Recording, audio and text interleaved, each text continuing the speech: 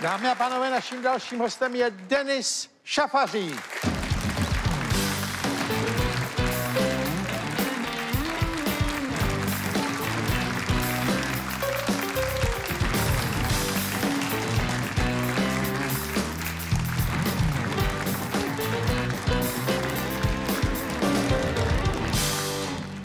Denis Šafařík je mladý český nadějný herec. Vy jste z té generace těch herců, co všichni jsou takový hubený.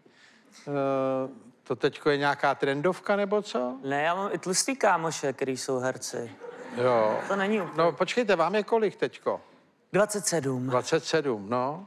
no takový hubený herci, mně to přijde, že na herce jste hubený, no. i když oni jsou potřeba hubený herci, ale abyste vydržel jako, no. Uh, je to strašný stres, to povolání. Prostě. Je, no, dáte si víno? Moc rád. Jo, já, Už tam vzadu jsem se na něj jo. těšil. No jo, přišel herec, tak je na víno lačnej, no. No tak já vám rád naleju, prosím. Děkuju. Nemusíte to vypít všechno, jenom si tak cucněte a pomalu, jako, aby jsme eh, si mohli popovídat. Ale já jsem koukal, vy máte zajímavou minulost, že vy jste si tak zacestoval v úvodu té svý studijní jako cesty herecký. Vy jste byl v Americe, v Německu, že jo? Mm-hmm. V Německu jste dělal nějakého uklízeče nebo co, což je zajímavé. No, to byla moje uh, vášeň. dělám si srandu. Počkejte, vaše vášeň bylo ne, ne, uklízet? To byl vtip, samozřejmě. Jo, takhle, tak to byla... se napiju já teďko. bylo to strašný. Byla to tragédie, ale zároveň jsem se tam nějak jako uchytil, no tak jako řeknu, uklízeč, myslíte? No, nebyl jo. jsem úplně vysoko v nějakém společenském žebříčku, ale... No tak to celkem zase, si ten žebříček uděláte sám zase vlastně. ustýlat postele, u, umývat záchody, v tom já jsem vlastně dost dobrý. Ale kde jste to tam dělal? V hotelu. No ne, ale v kterém městě, nebo? Postupem. Postup, to? To je vedle Berlína. Vlastně. Já vím, kde to je postupská dohoda. dohoda. Vy jste uklízel přímo v tom hotelu? Ne. Ne. Ale už jste měl na to jako, ale... No, bo, bohužel. Tento hotel nebyl moc prestižní, takže jsem to mohl trochu odflakovat. Počkejte, ale jak jste se tam dostal? Jak jste na to přišel, že... Tak vy jste... Musíte trošku vysvětlit ten začátek, ten start. Vy jste přišel do Prahy.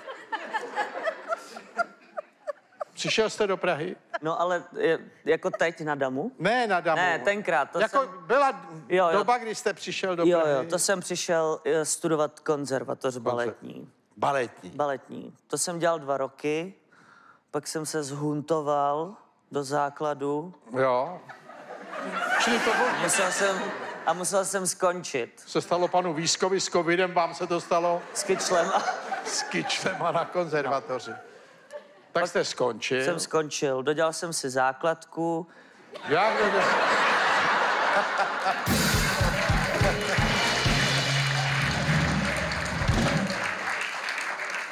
jste tu konzervatoř dělal v nějakým batolecím věku? Jako? Ne, no, šestá, sedmá. Šestá, sedmá. Já jsem v šestý se odstěhoval do Prahy, v sedmý jsem se zase odstěhoval a devítku jsem si udělal. Jo. A devítku jste dělal denně nebo dálkově? Denně ještě. Denně. denně.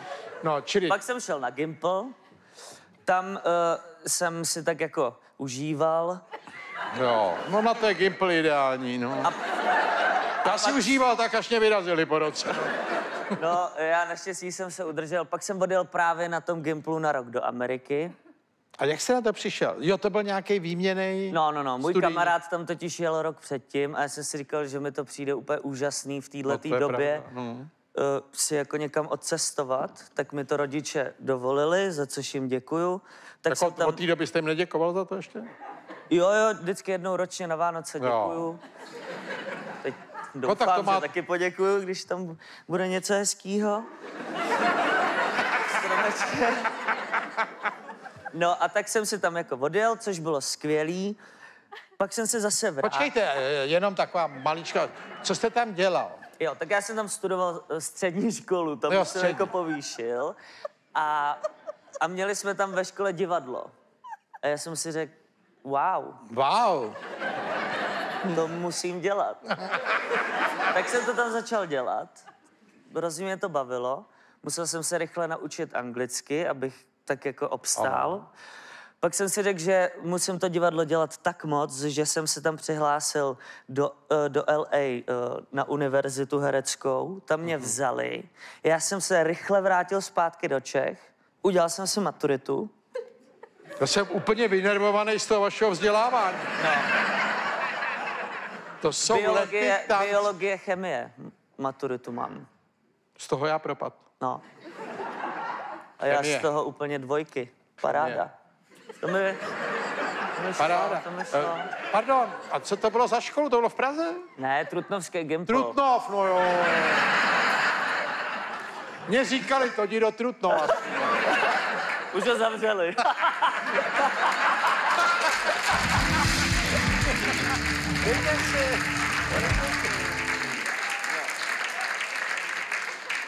tak, můžu vám z toho udělat střík, jak si chcete. jo, kdybyste mi tam trošku toho stříknul. To, že vy vypadáte, že jste, že jste A- na střík, no.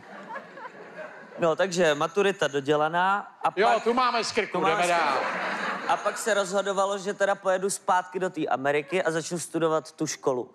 Jako vysokou, Jo, kam jsem se dostal. hereckou. Ano.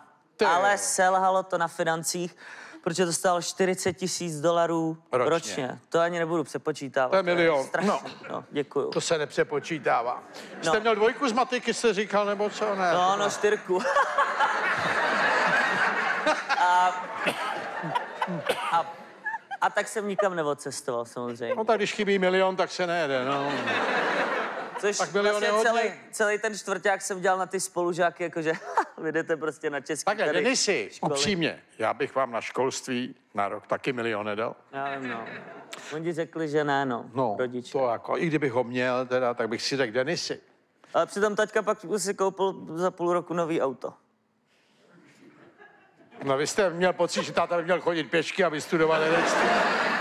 No, tak trošku jsem si myslel, ale No, jak se napíte, no. řekl jsem si, udělám si to po vlastní ose a odjel jsem do toho Německa. Počkejte, z té Ameriky? Ne, z Čech. Já už Jo, jsem se tam se- ani nedostal. Jo, tak jste jako tam nejel, protože chyběly Přesně prachy. tak, a jel jsem do Německa. Jel jste do Německa. Říkal jsem si, ty prachy si vydělám. No. Není problém, tak jezdí a já... A já jdu uklízet záchody, no problém. A jak jste, tam jste přijel do Německa, tak tohle se Ano. sehnalo asi docela snadno, ne? Snadno. Že jo? No. A tam jsem vlastně uh, si našel ubytování, bydlel jsem na takovém sdíleném bytě s Polákem a s takovým uh, klukem z Afriky. To bylo, to bylo moc fajn, milý, milý.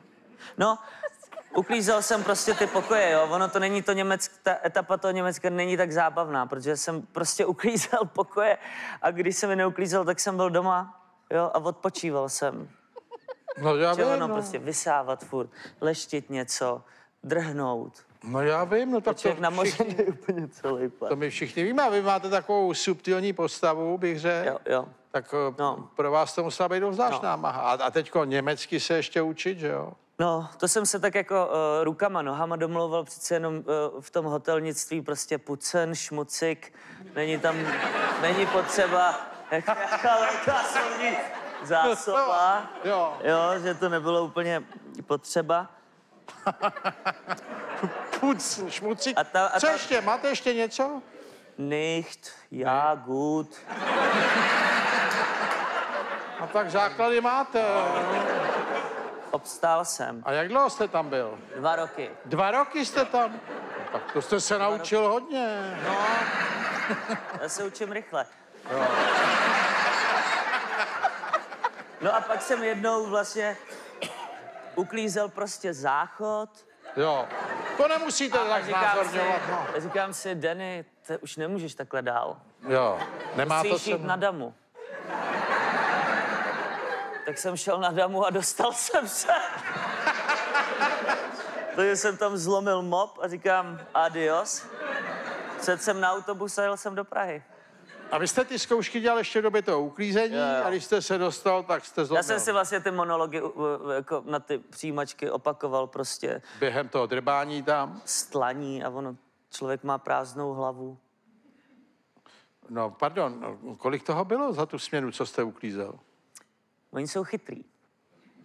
No tam máte základní mzdu na hodinu. A tam vám to dají, když uklidíte tři pokoje. Za hodinu. Jo, což, to tak počítá. Což je strašný úplně. No počkejte, Takže ale... 18 pokojů jsem měl na patře, ty jsem musel za tu směnu udělat. A pak jsem měl vlastně vyděláno 6 hodin práce. A kdybych zůstal hodinu ve dvou pokojích? No tak si vyděláte bídně. No ne, tak to nepočítaj jako hodinou.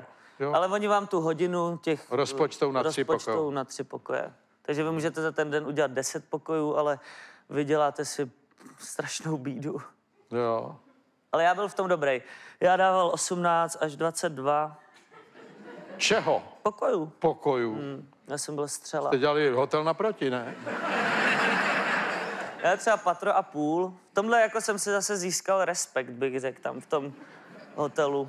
Jak se to projevovalo? Dělali, uh. Že řekla Morgan. Ja, Morgan. Schön, schön, schön No a pak jste dělal zkoušky na Damu. A dostal jsem se. Tam jste dělal teda... No já teda mám uh, Damu alternu, jo. Um, dostal jsem se ještě do Brna na činohru, ale to Brno mi přišlo takový vzdálený pro mě cestování, tak jsem šel No sem po té Americe a Německu je to daleko. Říkal jsem si, jestli Čechy, tak Praha. Jo. No a začal jsem studovat na Damu a, a už jsem zase začal vytvářet úplně jiný příběh. No a teď jste v jaký fázi vytváření příběhu? Teď jsem ve fázi, kdy jsem rok po Damu a snažím se nějak fungovat. No, no tak to je brzo ještě. Je covid trochu, tak to samozřejmě některé věci překazil. Teď jsem měl mít koncem listopadu premiéru v Davidském divadle, to nám bohužel nedopadlo, takže snad v lednu bude premiéra. No, tak nějak se snažím si ten život užívat, jak to jde. Jo, ale tak eh, mám z vás takový pocit, jako jednak jste takový subtilní, teď mně přijde, že jste i tak jako málo oblečený. No, je mi teda strašná zima. Vám? No. Ale to já mě jsem napadlo. Měl nechat mikinu, ale to už je jedno. No, já bych vám mohl půjčit tady Bandyho, ale já na to mám mikrofon zase. Ne, ne, já, já jako dobrý, jak si tady za, za... Ale já vám můžu půjčit sako a tohle si dá. Je vám zima, jo? No je trošku, ale to... Ne, to nesnesu. Nesnesu, aby tady někomu byla zima. Teď začne moje šikovnost, se dívejte.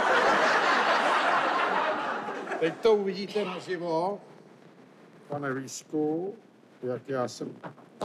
Hajzle jeden. A já... No. To je strašná podsta.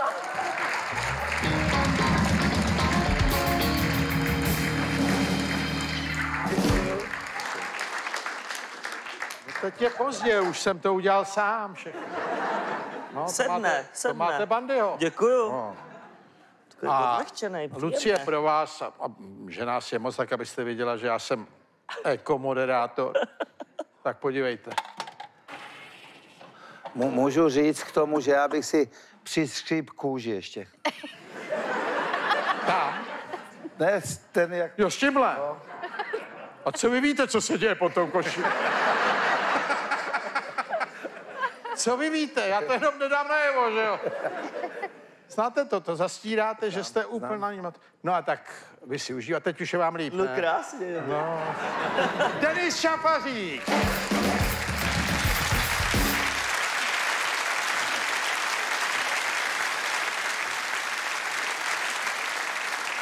Dámy a pánové, já vám děkuji za pozornost. Těším se s vámi po svácích v na shledanou, buď tady v divadle Archa nebo u televizních obrazovek. A teď vám ještě Lucie Mondráčková zaspívá písničku Honza a mějte se krásně.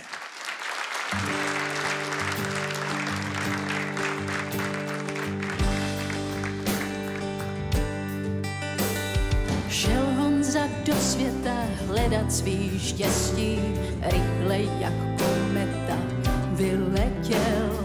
Chtěl hezkou princeznu, bohatství v pěstí, nakonec našel, co chtěl. Až když byl v oblacích, pak zjistil, že je sám, tam ztratil si i smích. Až když byl na